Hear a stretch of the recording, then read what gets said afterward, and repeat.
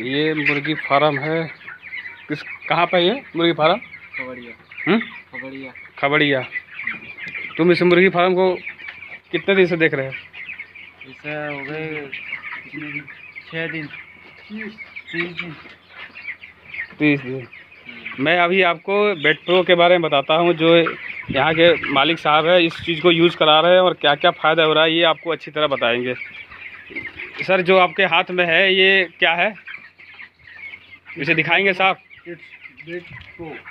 इस bed pro इसे आपको लेने से क्या क्या फ़ायदे हुए? इससे बहुत फ़ायदा हुआ। कोई एंटीबायोटिक दवाई नहीं चलाई हमने। हम्म। और कोई वैक्सीन नहीं की है। लगातार इसी को चला रहे हैं। शुरू शुरू में एक ग्राम एक लीटर पानी में। हम्म। अब जो है दो ग्राम एक लीटर पानी में चला रहे हैं। हम्म। और इस टाइम पच्चीस दिन के बच्चे हुए हैं ये। हम्म। इनका रे- वेट जो है इस टाइम सवा किलो के लगभग है। हम्म जो कि बहुत बढ़िया वेट है। इसमें आपको बचत कितना अब तक हो गया है आपके हिसाब से जो आप कम कम बारह तेरह हज़ार की दवाई लगती जो नहीं लगी।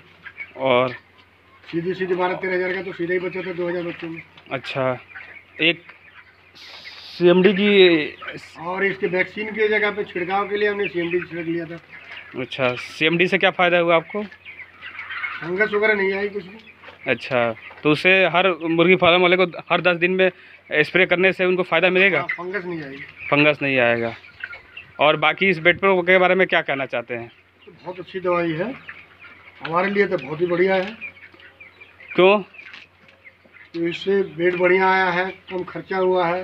हम्म, बाकी जब पूरा ग्रोथ आ जाएगा तो क्लियर हो जाएगा। अभी ये बच्चे आपके कब किस डेट को आए थे? आज कितना डेट हो चुका है? ये आए थे तेरह तारीख में। तेरह छः को? तेरह छः को। आज सात? सात तो तेरह छः को नहीं तेरह सात तेरह आठ को आए थे। तेरह आठ को यहाँ से थी आपके बच्चे आए थे और तेरह ये पच्चीस सात यानी पच्चीस दिन हो गए हैं। तो पच्चीस दिन में ग्रोथ के हिसाब से कैसा है? बहुत बढ़िया है। और इसे देने का तरीका एक बार डॉक्टर की ज़रूरत पड़ी है ना कहीं किसी की ज़रूरत पड़ी है। तो इस, इस इसको देने का सबसे अच्छा तरीका क्या है?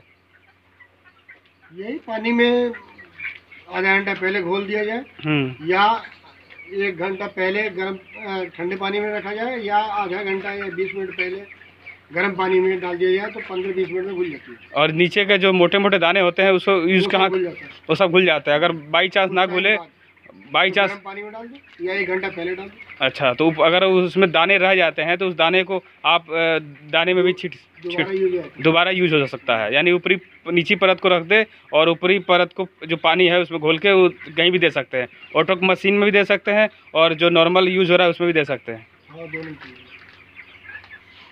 चलिए अधिक जानकारी आपको जब कंप्लीट होगा तब हमको बताएँगे। Thank you